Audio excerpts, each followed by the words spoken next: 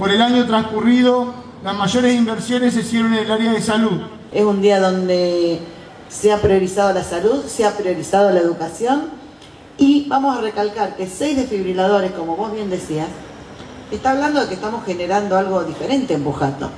Estamos generando un área cardioprotegida. No es menor, no es menor. No podemos decir eso en todos lados. Iniciamos este año 2021 trabajando.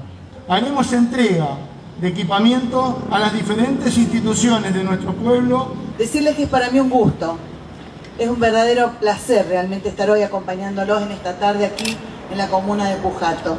Y además hemos estado presentes con nuestras instituciones destinando nada más y nada menos que una suma de 10 millones de pesos en aportes y obras que muchas veces no se ven. No se da todos los días poder acercarse a una comuna, a una comunidad, donde se trabaja todos los días por y para la gente. Como verán, la vara sigue alta en esta gestión y es en base también una base importante para el 2021. Y en este lugar, en Pujato, Daniel Cuacuarini es una de esas personas que ha hecho de la política un elemento para servir al prójimo.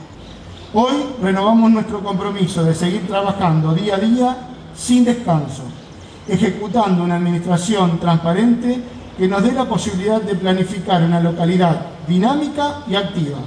Que podamos tener Pujato como una zona cardioprotegida, que en las escuelas, que en el SAMCO, que en los clubes podamos contar con un desfibrilador, es una decisión, es una postura y es, como yo decía, es tomar partido por la vida.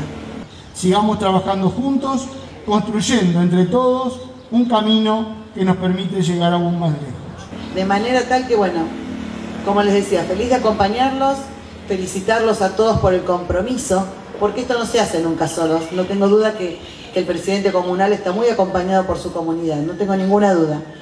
Estos logros son un trabajo conjunto. La veo a la directora del SAMCO, que está con su ropa de trabajo, que evidentemente también está comprometida. Veo a los bomberos, veo a la gente de las, de las escuelas, de, de las instituciones de adultos mayores, de los clubes.